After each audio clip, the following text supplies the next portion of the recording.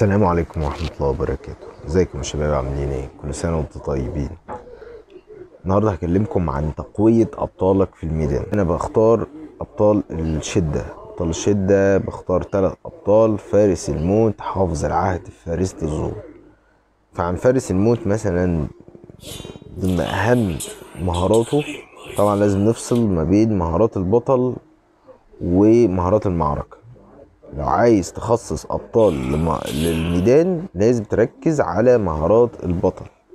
لكن لو هتحارب بيه في ال- المعركة مثلا أو تهاجم بيه فأنت بتركز على مهارات المعركة وبتختار بطل يكون فيه مهارات المعركة كويسة. في عندي برضو فارسة الزهور بتقدر برضو إن هي تضيف لك صحة وبتمتص برضو الضرر. للحلفاء بتوعك الأبطال التانية بتاعتك. الشادية الأولى برضو مهمة جدا بتضيف لك برضو صحة. دي مهمة جدا بعتمد عليها جدا في المعركة عندي لحد دلوقتي. آه، دول بالنسبة لأبطال الشدة.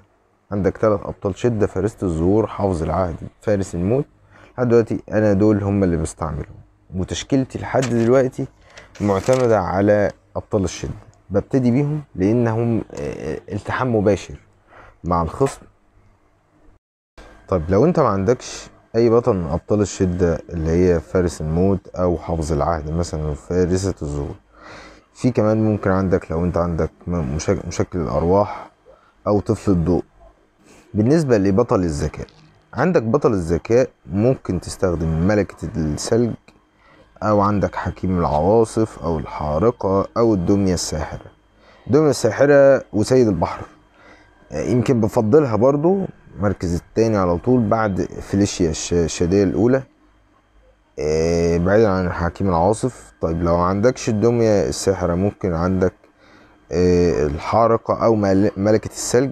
وبفضل ملكة الثلج عن الحارقة كمرتبة تالتة بتيجي بعدين. دي التشكيلة دي بتبقى مثالية جدا. في الميدان وأنا لحد دلوقتي محقق مراتب متقدمة جدا في الميدان يعني. يمكن أنا واصل دلوقتي ألف ومية وباخد ستين جوارة كل تلات ساعات ف وما ما اتغلبتش غير مرة واحدة بس. فده تقدم كبير جدا وممكن قدام برضو أعمل تشكيلات تانية مختلفة بجانب تشكيلة أبطال الشدة لأن التشكيلة دي تعتبر آه، هي أبطال شدة بس. آه، واتنين ذكاء. فأنا ممكن أعمل تشكيلة تانية قدام اتنين ذكاء مثلا أو تلاتة ذكاء واتنين براعة أجرب تشكيلات تانية مختلفة. حاجة ممكن تختار الأبطال اللي عليها نجوم عشان بيبقى ليها أفضلية في المعركة عن الخصم اللي قصادك. لكن ما انصحش إن أنت تختار بطل ضعيف من أبطالك عليه النجمة دي. لازم يكون بطلك ده اللي أنت هتختاره يكون مستواه أكبر من خصمك ورتبته كمان. ده مهم جدا.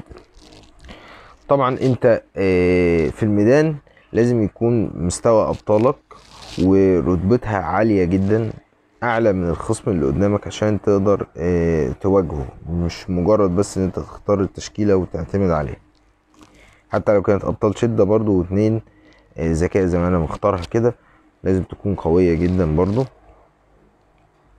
أنت مطالب إن أنت ترفع رتبة أبطالك مش ضروري مرتبة الأبطال إن أنت توصلها مثلا أسطورية في الميدان لأ الرتبة آه، مهمة جدا وهي اللي بتبقى معتمد عليها آه، مهارات البطل مش مهارات المعركة.